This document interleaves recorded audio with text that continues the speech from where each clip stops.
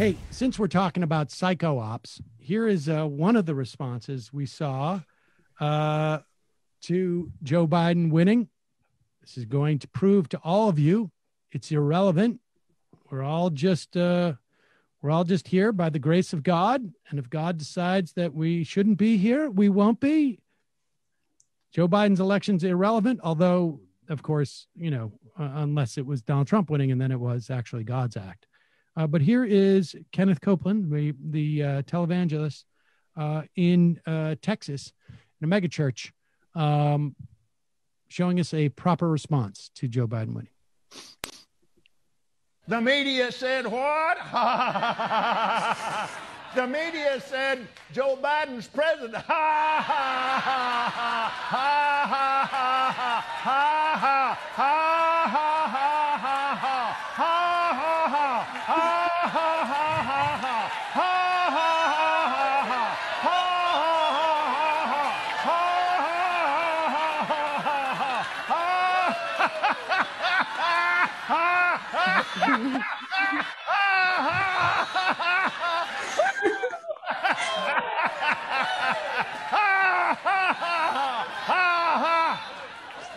The media said what? Okay, that's there we go. Yeah, Uh, is that laugh therapy? Remember that fad where everyone would all it's like Rolfing. right, right. They'll all be in a or laughing yoga where you all make each other laugh. First, pretend to laugh. It's supposed to be therapeutic. Maybe it's very new age. I'm not familiar. like the evil version of that. I don't Right. know. I He looks like an actual demon. I think it's funny and fitting that he has cope right there in his name, yeah, exactly. right up I on also- that stage, going, I am not mad. I am laughing. I am not owned. You are owned. that would have been awesome to see him just like pull that laughter, that fake laughter, right into a cry.